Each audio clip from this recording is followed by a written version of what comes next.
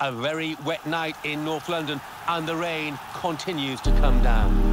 No sign of a break in the weather, and certainly no sign of a break in the rain. Well, they've gone further behind, and I'm afraid the fingers are being pointed at the goalkeeper.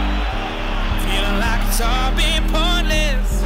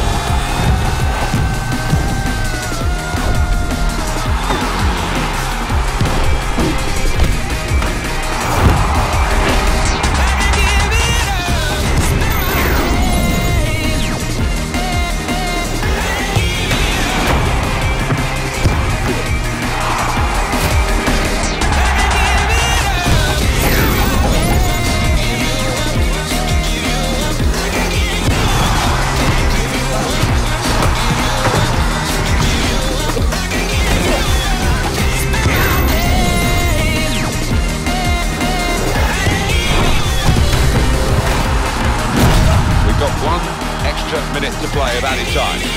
This is the chance. And is this the moment for them? Saved it!